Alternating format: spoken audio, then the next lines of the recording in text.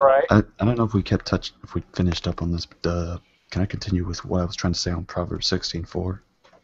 Yeah. Yeah. Yeah.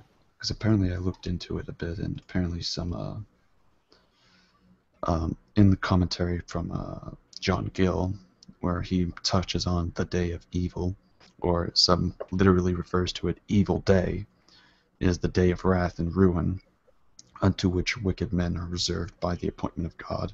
Agreeably, the Targum, Septuagint, the Syriac, and the, Ara- and the Arabic versions uh, agree with this consensus. And if some of y'all aren't familiar, the Septuagint was the uh, version that the apostles used when they went preaching the gospel when it came to the, the Old Testament. It was the Greek Septuagint. And this is the true uh, this is true of wicked angels, wicked men in particular, of that wicked one, the man of sin and son of perdition, Antichrist. The word here used in the singular number. So it seems that even older translations and uh, manuscripts and versions held firm to the idea that what we're seeing is a passage referring to wicked, the as uh, Proverbs 16 verse 4, and I'm reading from the NIV. It says, "The day of the dead." Or the day of evil. The Lord works out everything to its proper end, even the wicked for the day of evil, or as the NIV says, the day of disaster. So it seems that the manuscripts themselves, in their sense, uh, have held to this idea that what Proverbs 16:4 is saying. You do realize there's a difference between what it says and what it means. Yeah, why don't you tell me what it means? This is exactly what I've been trying to say in the past. Tell me And, what and so means. real always denies that. He Wait, wait, says, wait, oh, no, on. no, that's not what we say. That's Well, hold on. exactly what you just said. All right, hold on. Pre, tell me what it means. No, I said, do you? No, tell me what it means. You're saying I don't know. I told you what I said. I'm looking at it and told you what it means from my perspective.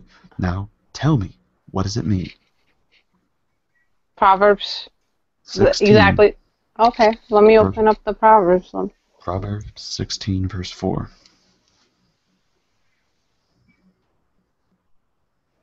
There's also a verse in Job too.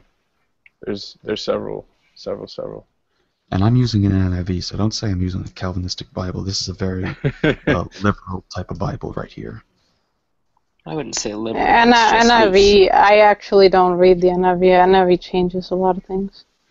Like I said, because it tr- its purpose is to fit Uh, with all denominations as a loose translation. But even I- then, other think- it's, it No, has study I would beg to differ. It's kind of a sweeping generalization because when you say that it changes a lot of things, only the like I guess Zondervan is a publication and they have different publications for the NIV, but Zondervan's I to my knowledge Zonder, Zondervan's the only one who was guilty of of that.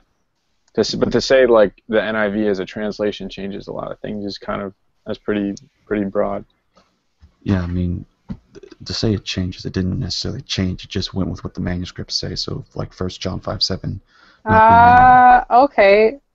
Well, I I'll don't show think you you- something. Hang on. I, I don't think she meant that. I think she meant that because one one of the more recent publications, I think it was 2005 or something like that. They actually they had certain words that were were altered in the NIV from from past NIV translations.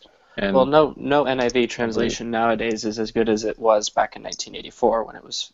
Um, The the last good NIV was 1984, and then they came out with the, Ah. the today's New International Version earlier this century, which was a big flop because it was liberal in every respect. right, right, they- right, right. Yeah. They uh, in 2011 they finally revised it to the the more recent NIV, um, but it kept a lot of the same flavor that the today's New International Version had. So it's not the best, but